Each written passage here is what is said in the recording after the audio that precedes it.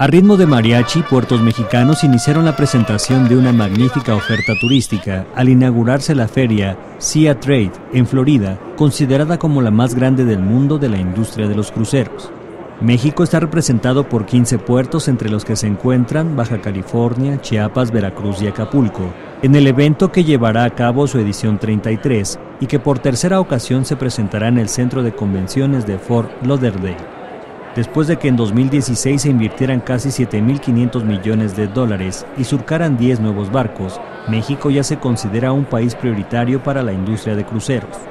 Y nuestro país es un destino de primer nivel a nivel global cruceros. Estamos promoviendo México muy intensamente para que haya cada vez más turismo de cruceros a México.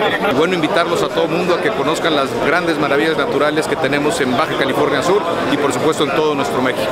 Este es el único evento que garantiza reunir todas las facetas del negocio, incluyendo líneas de cruceros, proveedores, agentes de viajes y socios. Con información de Pablo Tonini, corresponsal en Miami, Notimex.